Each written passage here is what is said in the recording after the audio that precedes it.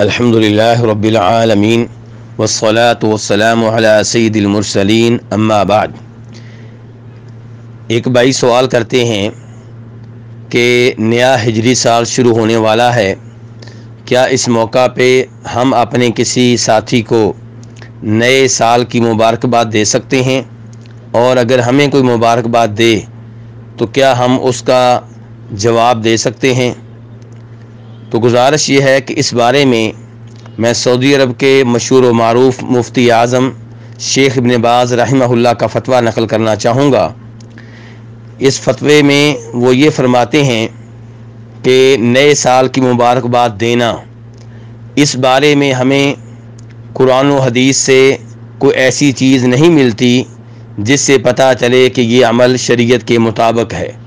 और ना ही सलफ़ सालहीन से हमें कोई ऐसी दलील मिलती है कि वो नए साल के आगाज़ पे एक दूसरे को मुबारकबाद देते हों।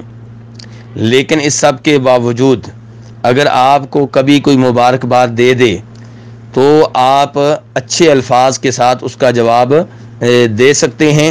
लेकिन मुबारकबाद देने में आप पहल करें तो ऐसी कोई दलील नहीं है।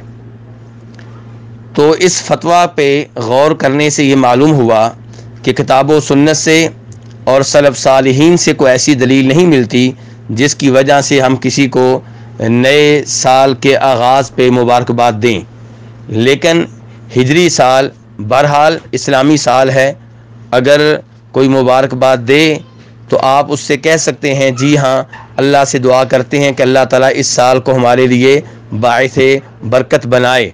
लेकिन इसके साथ साथ उससे ये भी कह दिया जाए कि नए साल की मुबारकबाद देना किताब व सुन्नत से और सलफ़ सालहीन से साबित नहीं है, इसलिए इससे गुरेज करना ही बेहतर है। वल्लाह